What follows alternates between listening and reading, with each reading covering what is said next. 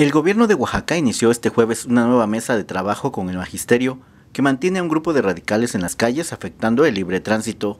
Desde este miércoles, el gobierno de Oaxaca difundió las respuestas dadas al magisterio. Sin embargo, por una posición política e intereses que no tienen relación con lo educativo, los grupos violentos de la CENTE siguen reteniendo vehículos, bloqueando calles y perjudicando la economía y paz social de Oaxaca. Los disidentes mantuvieron bloqueos en los cruceros del Monumento a Juárez, rumbo a Guayapan, Hacienda Blanca, Aeropuerto y Calzada Niños Héroes. Asimismo, mantienen tomada la caseta de peaje de Huitzo en la carretera Oaxaca-Cuacnopalan. También, el gobernador de Oaxaca explicó en un video cuáles han sido las respuestas al magisterio que insiste en presionar como grupo fáctico a pesar de ser empleados gubernamentales. Quiero reiterar mi convocatoria al diálogo. Los oaxaqueños rechazamos la violencia, rechazamos los bloqueos y estamos a favor de construir las condiciones idóneas para una educación de calidad para nuestros hijos. Quiero reiterar la voluntad de mi gobierno al diálogo permanente, como lo hemos hecho desde el inicio de mi administración. Quiero que ustedes estén informados de los avances que hemos tenido desde el inicio de estas pláticas con la Comisión Política. Por eso les quiero dejar un video de lo que ya hemos avanzado y seguiremos trabajando con un único objetivo, nuestros hijos y la educación de calidad de todos los oaxaqueños. El gobierno del estado ha dado respuestas puntuales a las peticiones del magisterio oaxaqueño. Producto de un trabajo coordinado entre la sección 22 del Sindicato Nacional de Trabajadores de la Educación y el gobierno de Oaxaca, se logró dar respuesta inmediata a las siguientes peticiones. Ahora, el IEPO cuenta con una nueva plantilla de titulares de los diferentes niveles educativos para brindar una mejor atención en beneficio de los educandos y trabajadores de la educación en Oaxaca. Se resolvió la situación administrativa a 81 trabajadores de la educación y ahora cuentan con pagos y prestaciones sociales regularizadas. Gestión de plazas suficientes para los egresados normalistas que cumplan con el proceso administrativo correspondiente.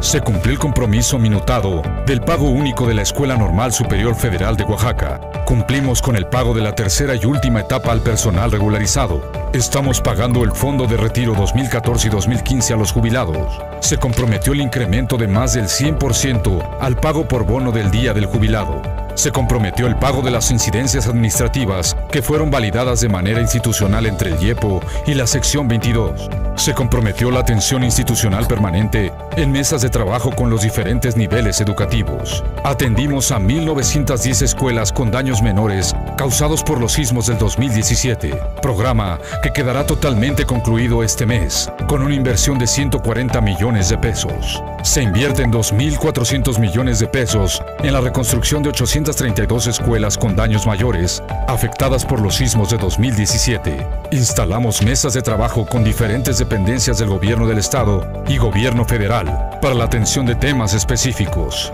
Coadyuvamos en la gestión para la atención del Sindicato Nacional de Trabajadores de la Educación a temas de la sección 22.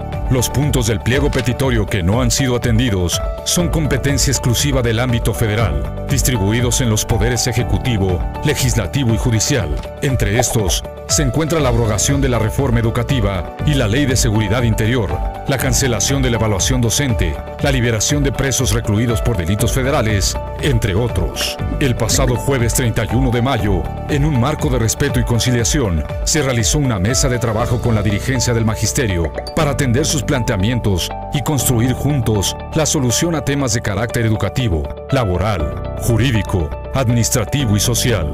Con base a lo anterior, se invitó a la instalación de mesas temáticas para la atención de los asuntos específicos educativos de cada nivel.